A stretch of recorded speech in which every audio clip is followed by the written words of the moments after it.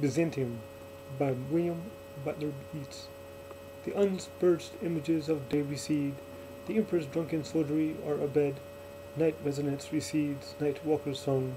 after great cathedral gong, starlit or moonlit dome disdains all that man is, all mere complexities, the fury and the mire of human veins.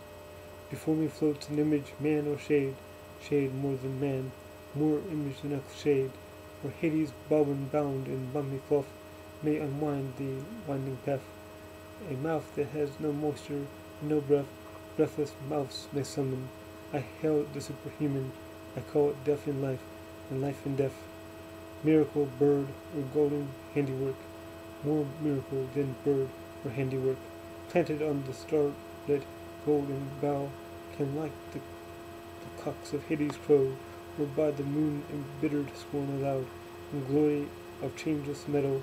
common bird or petal, and all complexities of mire or blood. At midnight, on the emperor's pavements flit, flames that no faggot feeds, nor still has lit, nor storm disturbs, flames the begotten of flame, where blood begotten spirits come, and all complexities of fury leave, dying into a dance, agon- agony of trance, an agony of flame that cannot siege or sleeve, straddle on the stuffen's mire and blood, spirit after spirit, the smithies break the flood, the golden smithies of the emperor, marbles of the anthem floor, break bitter furies of complexity, those images that yet fresh images beget, that often torn, that gone to midnight sea.